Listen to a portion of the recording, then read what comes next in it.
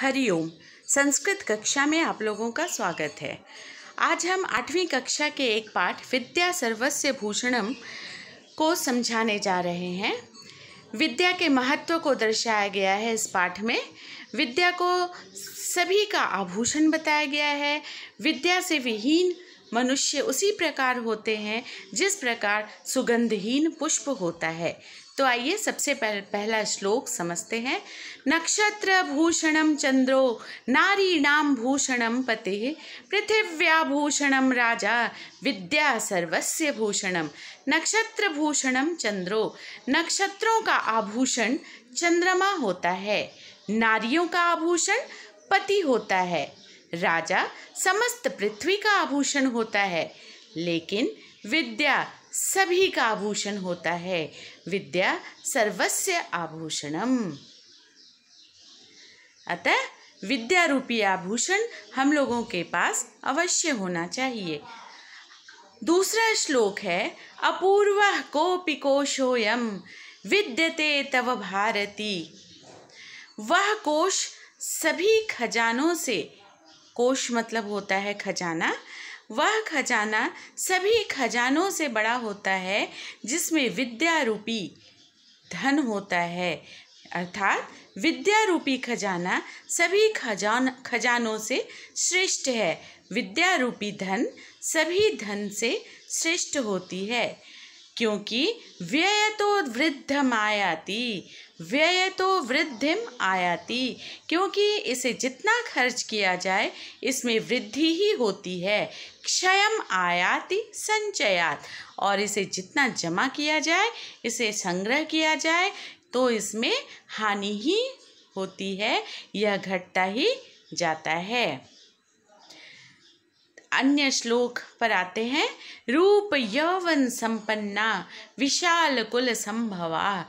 हमारे पास रूप है, यौवन है।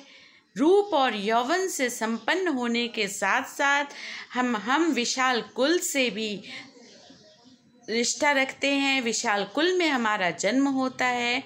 फिर भी विद्या से विहीन होने पर हम उसी तरह के हैं, जिस तरह सुगंध से रहित होने पर एक फूल होता है।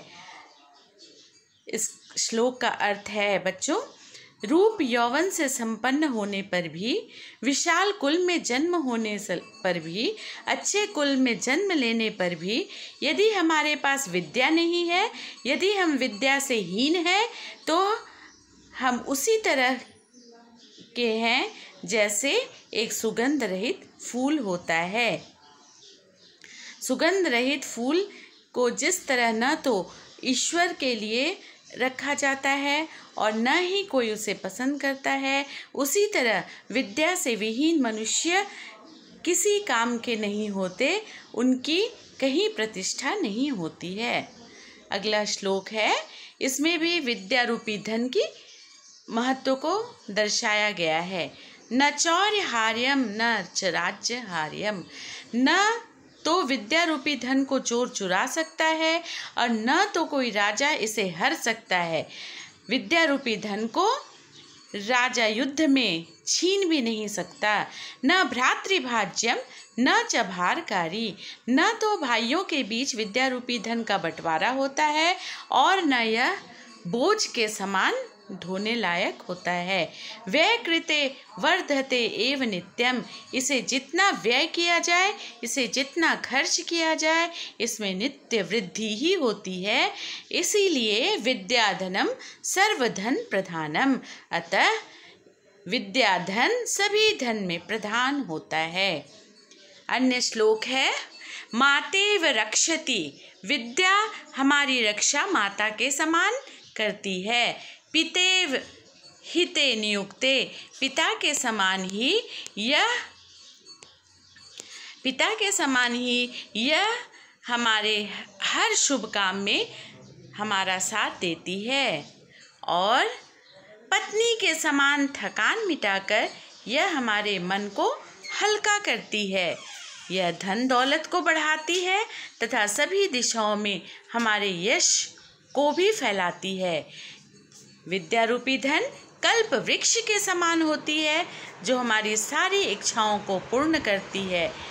विद्या हमारा उपकार किस प्रकार से नहीं करती, यह हर तरह से हमारे काम आती है। अंतिम श्लोक है इस पाठ का बच्चों। पुस्तकस्था तु या विद्या पर हस्तगतम धनम। पुस्तक में स्थित विद्या और दूसरों के हाथ में गया हुआ हमारा ही धन।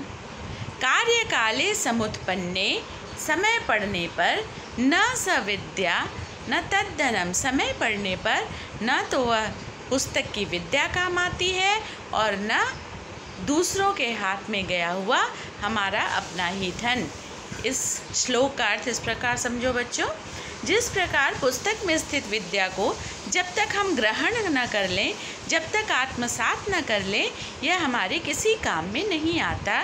और अपना ही धन यदि हम किसी को उधार में दिए हुए हैं, जब तक वो हमें वापस नहीं कर देता तो परिस्थिति पढ़ने पर, ज़रूरत पड़ने पर न तो वह पुस्तक की विद्या काम आती है और न वह दूसरों के हाथ में गया हुआ धन हमारे काम में आता है। इस प्रकार इन सारे श्लोकों के द्वारा यह स्पष्ट हो जाता है कि विद्या सर्वस्व भूषणम।